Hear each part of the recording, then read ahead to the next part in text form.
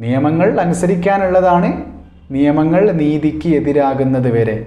അനീതിയാണ് കാണിക്കുന്നതെങ്കിൽ നീതിക്ക് വേണ്ടി പോരാടേണ്ടി വരും. നിയമമല്ല പ്രധാനം നീതിയാണ് പ്രധാനം. It's me M S solutions ഇനി എന്തിന്?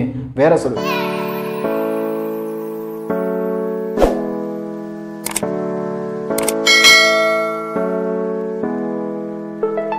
ഇപ്പോൾ ഞാൻ സംസാരിക്കുന്നത് പ്ലസ് വണ്ണിലെ വിദ്യാർത്ഥികൾക്ക് വേണ്ടിയിട്ടാണ്. അല്ലെങ്കിൽ നീതിയുടെ പക്ഷത്ത് നിന്ന് സംസാരിക്കാൻ വേണ്ടിയിട്ടാണ്.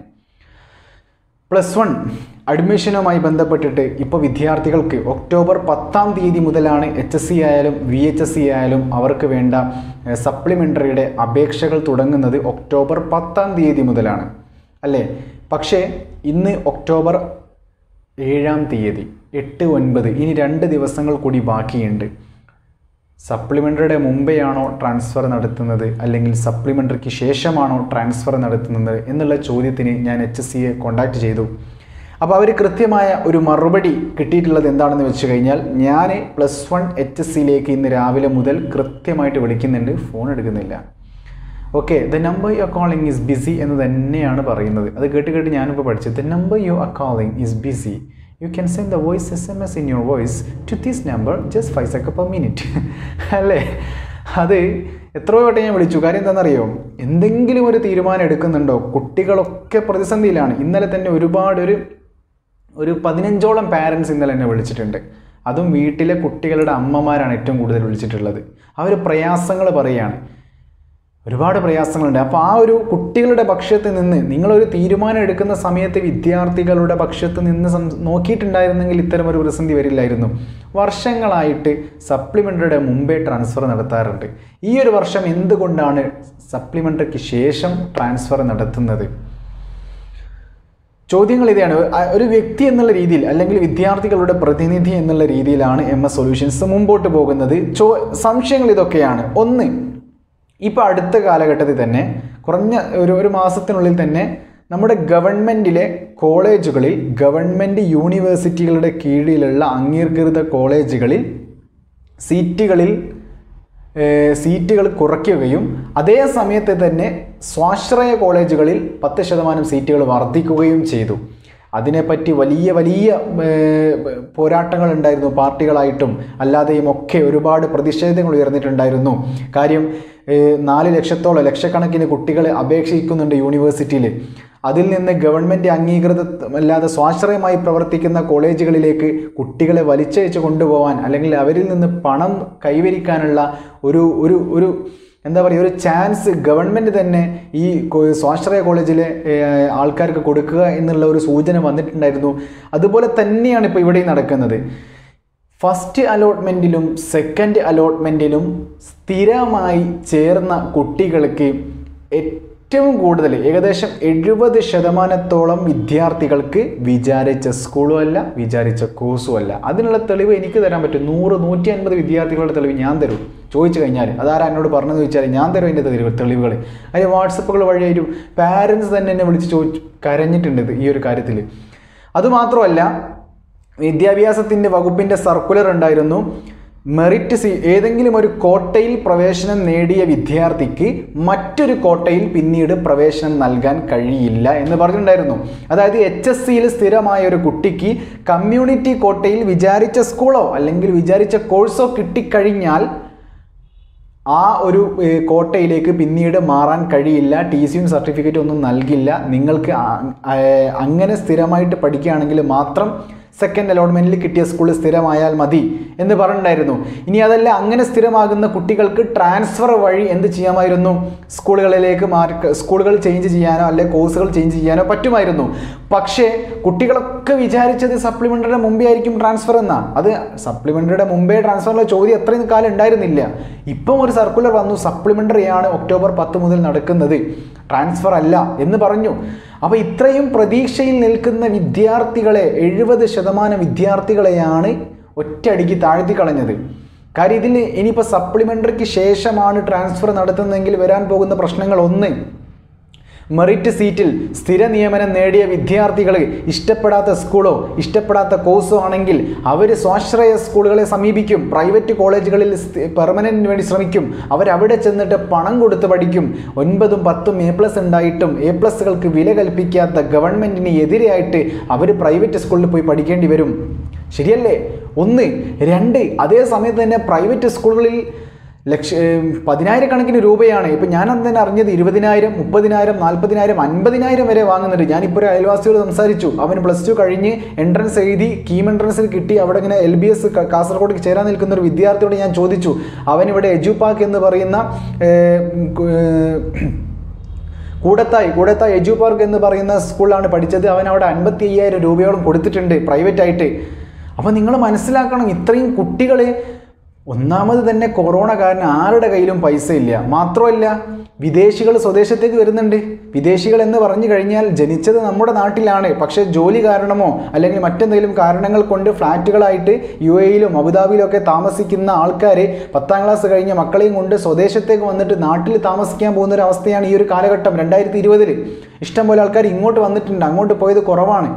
അല്ലേ? അപ്പോൾ അത്രയും കുട്ടികളൊക്കെ ഈ കിട്ടുന്ന സ്കൂളിൽ ഇപ്പോൾ എത്ര പണം വേണമെങ്കിലും കൊടുക്കാം എന്നുള്ള രീതിയിലാണ് നിൽക്കുന്നത്. കാര്യം ഗവൺമെന്റ് നോക്കിയിട്ട് കിട്ടുന്നില്ല. കുറഞ്ഞ സീറ്റുകളും ഒരുപാട് കുട്ടികളും എന്ത് ചെയ്യും? അപ്പോൾ അവിടെയും ഇവിടെയും ഉള്ള കുട്ടികൾക്ക് കൊടുക്കാതെ ഒരു നമ്മളിപ്പോൾ ഡബ്ല്യു ജി പി കുട്ടികളെ കൊണ്ട് ബോണസ് പോയിന്റ് ടൈ ബ്രേക്കിംഗ് എന്നൊക്കെ പറഞ്ഞ് അവർ കഷ്ടപ്പെട്ടിട്ട് നീന്തൽ സർട്ടിഫിക്കറ്റ് പിന്നെ അതുപോലെ തന്നെ മറ്റ് സംവരണ സർട്ടിഫിക്കറ്റുകൾ ഇതൊക്കെ അവൾ അവർ ഇൻകം എല്ലാ സർട്ടിഫിക്കറ്റുകളും അവർ കഷ്ടപ്പെട്ട് ആ കൊറോണ സമയത്ത് പോയി ഉണ്ടാക്കിയെടുത്ത് കാര്യം അവർക്ക് അവകാശപ്പെട്ട സർട്ടിഫിക്കറ്റുകളാണ് കൃത്യസമയത്ത് കൊറോണ ആയതുകൊണ്ട് പല പ്രശ്നങ്ങളുണ്ടായിരുന്നു. എന്നിട്ടും അവരതൊക്കെ അപ്ലൈ ചെയ്തു ഒരേ ഡബ്ല്യു ജി പി ഞാൻ തന്നെ കാണിച്ചു തരാം. രണ്ട് കുട്ടികളെ ഒരേ ഡബ്ല്യു ജി പി എ ഒരേ ബോണസ് പോയിന്റുകൾ ടൈ ബ്രേക്കിംഗ് പക്ഷേ രണ്ടുപേര് അപ്ലൈ ചെയ്തൊക്കെ ഒരേ ഇതില്ലേ പക്ഷെ അവർ രണ്ടാക്കും കിട്ടിയ രണ്ട് സ്കൂളിൽ രണ്ട് കോഴ്സും എന്താണ് ഇതിന്റെയൊക്കെ ഒരു അർത്ഥം? എനിക്കതാണ് മനസ്സിലാവാത്തത്. നമ്മൾ പ്രതിഷേധിക്കുന്നതിൽ കുറച്ച് ലിമിറ്റേഷൻസ് ഉണ്ട്. ഞാനിപ്പോൾ വിദ്യാഭ്യാസ വകുപ്പിനെ കുറ്റം പറയുകയോ അല്ലെങ്കിൽ കുട്ടികളെ പൊക്കി പറയുകയോ കുട്ടികളായിട്ട് താക്കുകയോ ഒന്നുമല്ല. ഞാൻ യാഥാർത്ഥ്യമായ കാര്യങ്ങളാണ് പറയുന്നത്. ഇത്രയും കുട്ടികൾക്ക് സമയം ഏഴ് മിനിറ്റ് ആയിപ്പോയല്ലോ. ഇത്രയും കുട്ടികൾക്ക് വിചാരിച്ച കോഴ്സിന് വേണ്ടി പ്രൈവറ്റ് സ്ഥാപനങ്ങളെ ആശ്രയിക്കേണ്ട ഒരു സാഹചര്യം വന്നു കഴിഞ്ഞാൽ പ്രൈവറ്റ് സ്ഥാപനങ്ങൾ പറയുന്ന പൈസയാണ് പിന്നെ ഇവർ കൊടുക്കേണ്ടത്. എത്ര പേർക്കാണ് ഈ കൊറോണ കാരണം ലോക്ക്ഡൗണിൽ കുടുങ്ങിപ്പോയത്? ഇഷ്ടംപോലെ ആൾക്കാരാണ്. കർഷകർ നമ്മൾ ഈ കാണുന്ന നാട്ടുകാരല്ല യഥാർത്ഥ നാട്ടുകാർ അവരുടെ ഉള്ളിലൊരു ജീവിതമുണ്ട് വീട്ടിനുള്ളിൽ കരയുന്നവരും പുറത്തിറങ്ങിയാൽ ചിരിക്കുന്നവരാ. നമ്മുടെ നാട്ടുകാർ കാര്യം നമ്മുടെ നാട്ടുകാർക്ക് കൈവീശാൻ അറിയില്ല. കൈ നീട്ടാൻ അറിയില്ല. നിങ്ങൾ മനസ്സിലാക്കണം അത്രയും കഠിനാധ്വാനത്തോടെ ജീവിക്കുന്ന അച്ഛനമ്മമാരുടെ പ്രതീക്ഷയാകുന്ന മക്കൾക്ക് സ്വന്തമായിട്ട് ഗവൺമെന്റിൽ അത്രയും പഠിച്ചെടുത്ത എ പ്ലസ്സുകൾ കൊണ്ട് നാട്ടുകാരും വീട്ടുകാരും കുടുംബക്കാരും ഒക്കെ ട്രോഫികളും അതൊക്കെ വീടുകളിൽ മാസ്കും ഹാൻഡ് സാനിറ്റൈസറും ഒക്കെ കൊണ്ടു കൊടുത്ത് കൃത്യമായിട്ട് അവരെ ആദരിച്ച് അവരെ അംഗീകരിച്ച് അവർക്ക് ആശംസകൾ പറഞ്ഞുകൊണ്ട് നിൽക്കുന്ന ഈ കുട്ടികൾക്ക് വിചാരിച്ച സ്കൂളും കിട്ടുന്നില്ല വിചാരിച്ച കോഴ്സും കിട്ടുന്നില്ല. ഇനി അഥവാ അവർക്ക് എന്തെങ്കിലും തെറ്റുകൾ സംഭവിച്ചെന്നിരിക്കട്ടെ ഇത്രയും കാലം അക്ഷയ കേന്ദ്രങ്ങൾ വഴിയും മറ്റ് സി എസ് സി സെന്ററുകൾ വഴിയുമാണ് കുട്ടികൾ അപേക്ഷ നൽകിയിരുന്നത്. ഈ വർഷം കുട്ടികൾ തന്നെ ഫോൺ വാങ്ങി കുട്ടികൾ തന്നെ ഇമെയിൽ ഐ ഡി ഉണ്ടാക്കി കുട്ടികൾ തന്നെ പാസ്വേഡ് ഉണ്ടാക്കി. ഫോണിനെ കുറിച്ച് ഒന്നും അറിയാത്ത കുട്ടികളുണ്ടായിരുന്നു ഫോണ് ഇത്രയും കാലം തൊടാത്ത കുട്ടി നമ്മൾ ഇത് തമാശ പറയാണെന്നല്ല മതഗ്രന്ഥങ്ങളും പഠിക്കേണ്ട വിവേകപരമായ ഗ്രന്ഥങ്ങളിൽ മാത്രം ഒതുങ്ങി നിന്ന കുട്ടികളൊക്കെ ഓൺലൈൻ ക്ലാസ്സുകൾക്ക് വേണ്ടിയിട്ട് ഫോൺ വാങ്ങിക്കൊടുത്തിട്ടുണ്ട്. ഒരു വീട്ടിൽ അഞ്ച് കുട്ടികളുണ്ടെങ്കിൽ ഈ അഞ്ച് കുട്ടികൾക്ക് അഞ്ച് ഫോൺ വാങ്ങിക്കൊടുക്കണം. ഒരു കുട്ടിക്ക് ട്യൂഷന് പിന്നെ മദ്രസ അതായത് മതപരമായ പഠനം പിന്നെ സ്കൂൾ ഓൺലൈൻ ക്ലാസ് പിന്നെ പോരാത്തിന് ടീച്ചേഴ്സ് ടീച്ചേഴ്സ് പുലർച്ചയ്ക്ക് ക്ലാസ് അഞ്ച് മണിക്ക് ക്ലാസ് എടുക്കുന്നുണ്ട് നാല് മണിക്ക് ക്ലാസ് എടുക്കുന്നുണ്ട് ടീച്ചേഴ്സ് എട്ട് മണിക്ക് ക്ലാസ് എടുക്കുന്നുണ്ട്. കുട്ടികൾ നോട്ട് അയച്ചു കൊടുക്കണം. ഈ അഞ്ച് കുട്ടികൾക്കും അഞ്ച് ഫോണ് അഞ്ച് മൊബൈൽ അഞ്ച് ഫോണ് അഞ്ച് നെറ്റ് റീചാർജ് സിമ്മ് എന്തൊക്കെ വേണം?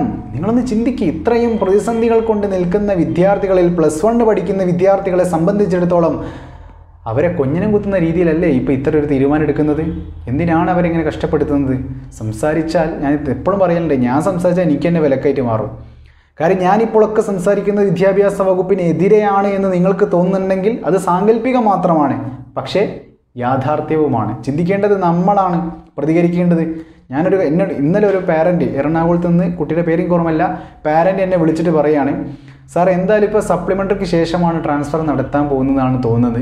അതുകൊണ്ട് സാറേ ഏഹ്, കോടതി എന്നെ സമീപിക്കട്ടെ? ഞാൻ എന്താണ് എന്താണ് ചെയ്യേണ്ടത്? എങ്ങനെയാണ് പരാതി കൊടുക്കേണ്ടതെന്നൊക്കെ ഒന്ന് പറഞ്ഞു തരാമോ എന്ന് എന്നോടൊരു പാരന്റ് വിളിക്കുക. ഒരൊറ്റ കുട്ടിയുടെ ഒരൊറ്റ കുട്ടിയുടെ പരാതി സുപ്രീം കോടതിയിൽ പോയി കഴിഞ്ഞാൽ മരവിപ്പിക്കും. പ്ലസ് വൺ അഡ്മി അഡ്മിഷൻ അവിടെ മരവിപ്പിക്കും. ഇനിയൊരു അറിയിപ്പ് ഉണ്ടാകുന്നത് വരെ പ്ലസ് വൺ അഡ്മിഷൻ എടുക്കരുതെന്ന് പറയും. അങ്ങനെ കോടതികളിൽ നിയമത്തിന് വേണ്ടി പോരാടും. ഇപ്പോൾ നമ്മുടെ ഗവൺമെന്റ് നിയമത്തോടെ നല്ല വൃത്തിക്ക് തന്നെയാണ് പോകുന്നത് ഉള്ളത് പറയാലോ. ഇപ്പോൾ ഭരിക്കുന്നത് ഇടതുപക്ഷമാണെങ്കിൽ കൂടി കൊറോണയുടെ കാര്യത്തിൽ നല്ലൊരു എന്താ പറയുക നൂറ്റി നാൽപ്പത്തിനാല് നിരോധന നിരോധനാജ്ഞയോട് കൂടി നല്ലൊരു വൃത്തിയിലേക്ക് വരുന്നുണ്ട്. ചുരുക്കി പറയാൻ പുറത്തിറങ്ങി കഴിഞ്ഞാൽ ആ ഒരു കടു നിയന്ത്രണമൊക്കെ കാണുന്നുണ്ട്. പക്ഷേ എങ്കിൽ കൂടി ഈ കുട്ടികളുടെ കാര്യം കൂടി ഒന്ന് ശ്രദ്ധിക്കണം. വിദ്യാഭ്യാസ മന്ത്രി ഇടപെടണം. വേറെ രക്ഷയില്ല. വകുപ്പുകളിലേക്ക് പരാതികൾ പോകുന്നുണ്ട്. നമ്മൾ ഗൂഗിളിൽ അവരൊരു എന്താ പറയുക പ്രശ്നങ്ങൾ പറയാൻ വേണ്ടിയിട്ട് ഗൂഗിളിൽ നമ്മൾ ട്രിവാൻഡ്രം അടിച്ചു കഴിഞ്ഞാൽ അവരുടെ നമ്പർ കിട്ടും. അഡ്മിഷൻ സെന്ററിന്റെ നമ്പർ കിട്ടും. വിളിച്ചാൽ ഫോൺ എടുക്കുന്നില്ല. ബിസി എന്നാണ് പറയുന്നത്. പിന്നെ എന്തിനാ ഫോൺ നമ്പർ അവരവിടെ എന്തിനാ പൈസ കൊടുത്ത് ഇരിക്കുന്നത്? എത്രയോ ആൾക്കാർ വിളിക്കുന്നുണ്ടാവും. ഒക്കെ ശരി തന്നെ. മറുപടികൾ. ഒന്ന് പറഞ്ഞൂടെ. കുട്ടികൾ എന്തിനാ എത്ര ടെൻഷൻ അടിപ്പിക്കുന്നത്? എത്ര കുട്ടികൾ ഇന്ന് രാവിലെ മുതൽ വാട്സപ്പ് കോൾ എനിക്ക് വാട്സപ്പിൽ ഓൺലൈനിൽ കയറാൻ പറ്റുന്നില്ല. അത്രമേൽ പ്രശ്നങ്ങളിൽ നിൽക്കുന്ന കുട്ടികളെ ഇങ്ങനെ നിങ്ങൾ ആശയക്കുഴപ്പത്തിലാക്കരുത് ഒന്ന് ദയവ് ചെയ്തിട്ട് സപ്ലിമെന്ററിയുടെ മുമ്പേ ട്രാൻസ്ഫർ നടത്താനുള്ള നീക്കങ്ങൾ നടത്തുക. പെട്ടെന്ന് തന്നെ സർക്കുലർ വരട്ടെ എന്ന് നമ്മൾ പ്രതീക്ഷിക്കുകയാണ്. സർക്കുലർ സപ്ലിമെന്ററിക്ക് ശേഷമാണ് ട്രാൻസ്ഫർ എങ്കിൽ നിയമപരമായിട്ട് തന്നെ ഒരുപാട് വീട്ടമ്മമാർ അച്ഛ അച്ഛന്മാർ എല്ലാവരും മാതാപിതാക്കളടക്കം രംഗത്തേക്ക് ഇറങ്ങും. അത് വലിയൊരു പ്രതിസന്ധിക്ക് കാരണമാകും. ഏറ്റവും നല്ലത് വർഷങ്ങളായി നടക്കുന്നത് പോലെ തന്നെ സപ്ലിമെന്റിയുടെ മുമ്പേ ട്രാൻസ്ഫർ നടക്കുക. തിരിച്ചാണ് എങ്കിൽ പ്രതികരിക്കേണ്ടി വരും. വ്യക്തി സ്വാതന്ത്ര്യത്തോടു കൂടി പ്രതികരിക്കേണ്ടി വരും. അവിടെ ന്യായത്തിന് വേണ്ടി പോരാടേണ്ടി വരും. നിയമങ്ങൾ അനുസരിക്കാനുള്ളതാണ് നിയമങ്ങൾ നീതിക്ക് എതിരാകുന്നത് വരെ. അനീതിയാണ് കാണിക്കുന്നതെങ്കിൽ നീതിക്ക് വേണ്ടി പോരാടേണ്ടി വരും. നിയമമല്ല പ്രധാനം നീതിയാണ് പ്രധാനം. It's me M S solutions ഇനി എന്തിന്? വേറെ സൊല്യൂഷൻസ് താങ്ക്